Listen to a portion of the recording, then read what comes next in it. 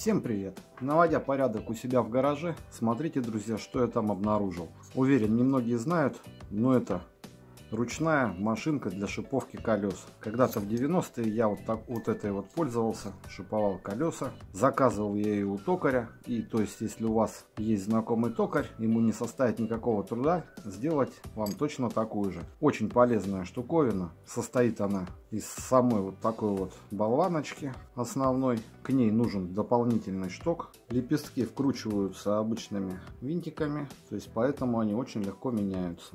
Такие лепестки изначально намного длиннее, чем которые у меня уже стоят в машинке. Дальше это я уже под себя подгонял, немного отпиливал и на наждаке дорабатывал.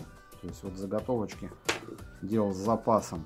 Ну а теперь немного про размеры. Общая длина машинки 15 сантиметров, ширина 2,5. Здесь у меня просто уже от молотка, видите, немного развальцовано. Внутренний диаметр подбирается, чтобы все шипы туда входили свободно. То есть по диаметру 8 миллиметров. Шток 7 миллиметров. Длина штока 18 сантиметров. Длина заготовочки лепестка 7 сантиметров.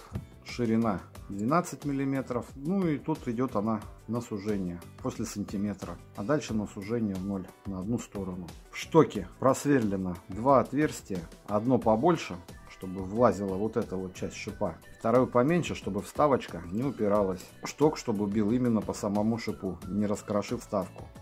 Шиповать можно колеса как на накачанной резине, то есть резину накачиваете примерно до 5 очков и можно смело в нее уже как в деревяшку вбивать эти шипы. Если у вас просто покрышка не забортованная, то тогда нужна лапа, что-то в виде упора. То есть берется железная болванка, на нее одевается протектор, насверливаются отверстия и туда вбиваются уже шипы. Если у вас есть знакомый токарь или вы сами работаете на токарном станке, для вас не составит труда сделать точно такую же копию. Если это видео наберет достаточно лайков и много людей заинтересуются, я уже тогда нарисую полный чертеж со всеми размерами. Ну а так вот просто небольшой обзорчик.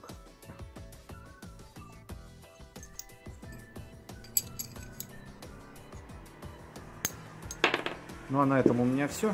Всем, кто досмотрел это видео до конца, спасибо за просмотр. Всем пока и до новых видео.